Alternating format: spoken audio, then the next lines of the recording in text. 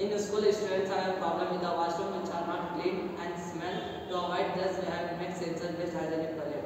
The components in this project are ultrasonic sensor, LCD display, breadboard, buzzer, jumper wire, Arduino, and 9 volt battery, water pumping motor, and gas sensor. To work on this, we have used Arduino to work.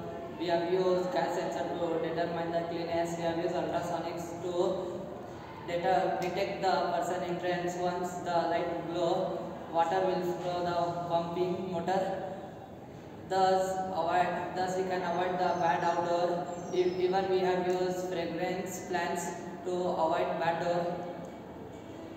And thus is enabled in is, is to keep the washroom clean.